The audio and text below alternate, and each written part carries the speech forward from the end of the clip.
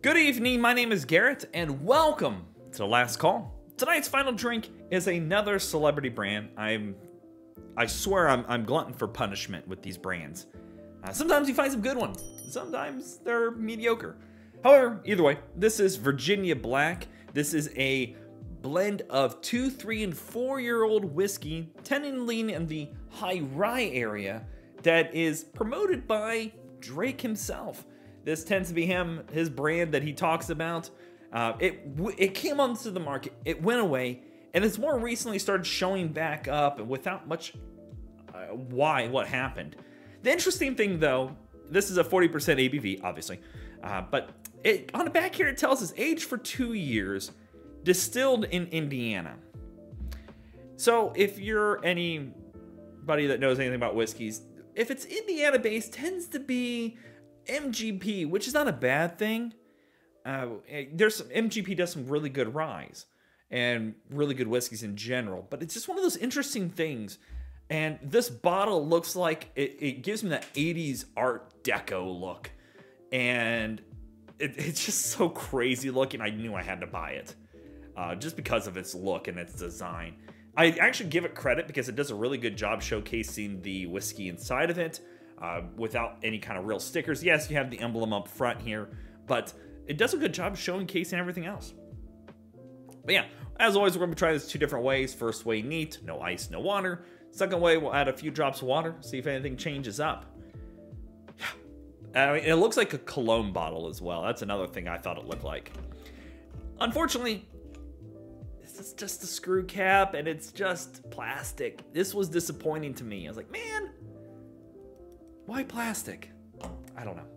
That it's, it is, you have to be careful on how you're pouring this because it can be kind of crazy pours because of its weird shape. Even feels like it feels cheap. All right. Dark, dark colored. Again, two, three, and four year old blend.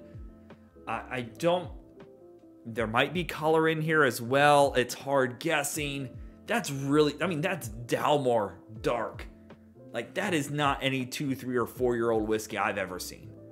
That is just super dark. Being said, they call it Virginia Black, distilled in Indiana. I'm going to guess there's probably some coloring in here. Let's go for notes.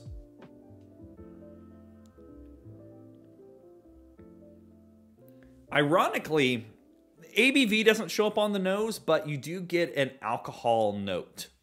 It's not like, ooh, that smells like a strong whiskey, but it get it's almost like um like an alcohol cleaner, like something just recently been wiped down with some alcohol. It's not super strong, but it's there. You get a bit of that vanilla, that bit of oak on the nose, and you could tell it's a rye. You could tell it's a high rye build. Uh, it kind of reminds me of Canadian whiskey a little bit on the nose. Just nice and simple. There's not a lot of characteristics going on there. You get a bit of oak, you get that vanilla. Um, it's unoffensive for the most part. Like I said, that alcohol note's there, but it's not like high ABV alcohol note. Okay, let's go for taste.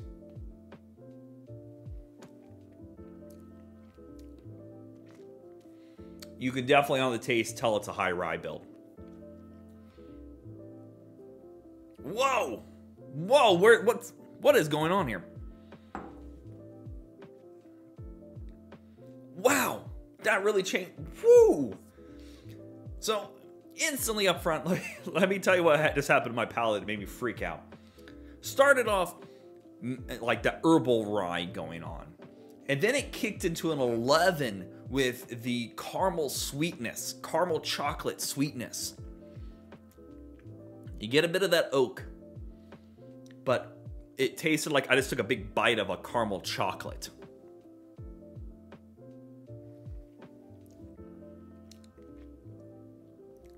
Little ABV on the taste. But that, that caramel chocolate doesn't show up right away. It's, this is a Canadian. I don't care what they're telling me. It just tastes like a Canadian whiskey. It's got that the same characteristics. It's got the same kind of flavor profile, and they might be doing that um, in lieu of Drake. Found out he was he's Canadian, so yeah, that's a possibility. I don't know, but that high rye with that caramel sweetness reminds me a lot of a lot of Canadians. It's actually it's not bad, but it's interesting. I'll say that much because that you you get those rye flavors right up front, and you're like, oh, it's a rye. But then, it's about the time that that word was coming out of my mouth was when it went caramel, chocolatey sweetness, like ooey gooey caramel, like um. I can't even think of a chocolate bar that has like a gooey caramel in the middle. Not like Rolos, but something gooier. Interesting. Yeah, I mean, it's even lingering sweet. Caramel sweetness is is just here for days.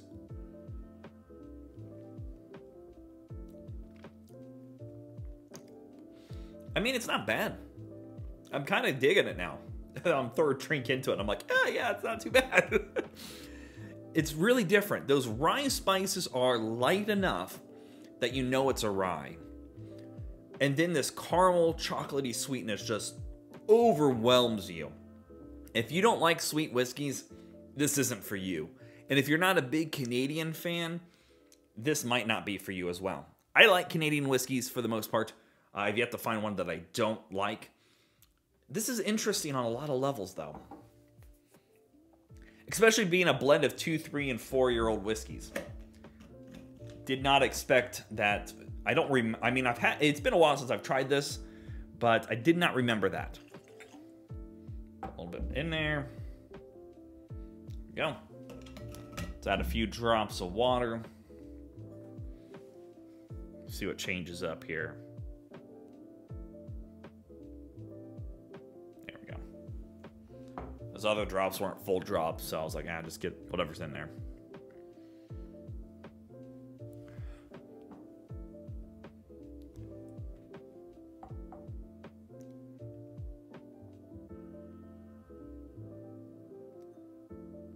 There's no nose. I, did I just pour an empty? Am I gone colorblind or something? I just poured myself water? There's really no nose.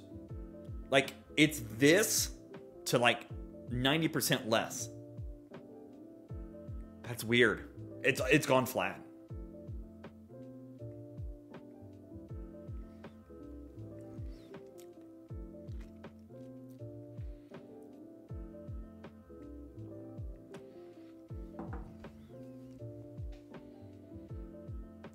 What did I just pour myself? Did I mix up bottles? This tastes nothing like this. I am so confused right now instantly the rye is still there, but I'm getting like pummeled in the ground by oak, like that strong oak note. That sweetness has kind of gone away. It's still there, but it's dialed back. It used to be like a 12, and now it's like a 5. So you still get a bit of that sweetness,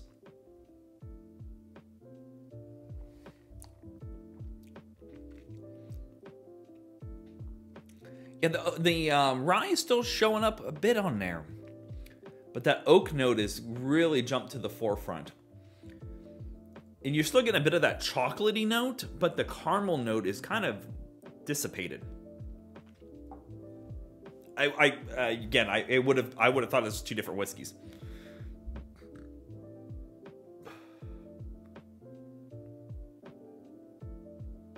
If you're interested in this, I think the neat is the way to go. I think on uh, with that little bit of water just changes it to too far away from what that I was thinking it was going to be. Because that oak really dominates now. I was actually enjoying the rye flavoring on this one, and that bit of sweetness at the end was Canadian-like. And you still get a bit of that sweetness on the back end, but nothing like this one. I think neat's the way to go on this one. As always, doesn't matter what you drink or how you drink it, as long as you enjoy it. Yeah, uh, it's not bad. I mean, it definitely, this screams Canadian. If you've never tried Canadian whiskey, you've probably come close to this. So, let's talk about market value. As we all know, market value is market value. I was able to pick this up for $32.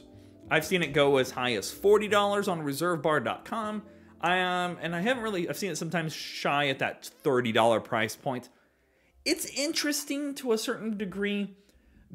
It, you know, even if you just say it's Drake's brand, like that's an interesting enough concept to me that makes me go, I want to try it. Um, that sweetness, caramel goodness that's on that finish is really stinking good. If you like sweet whiskeys, if you don't like sweet whiskeys, you're not a fan of those kind of things, this is not for you. Even with that little bit of water, I still don't think it is, even that price point. I think that you'd be better off on a lot of different bottlings for that price of $30 plus to find something you like more or less. So yeah, there you have it.